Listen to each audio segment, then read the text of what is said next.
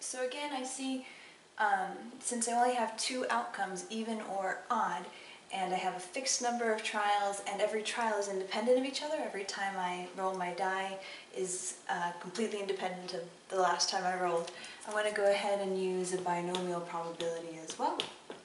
So uh, I want two evens, so the probability of getting an even is a half.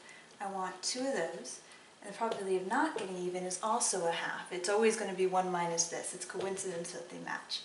So if I want two evens and I'm rolling six times, that means I want four not evens. But I don't care the order, so I want how many ways are there to choose those two? Well, six choose two times. So that's going to be 15 times 1 over 2 squared times 1 over 2 to the fourth and you plug that in on your calculator and you get 15 out of 64. And there you go.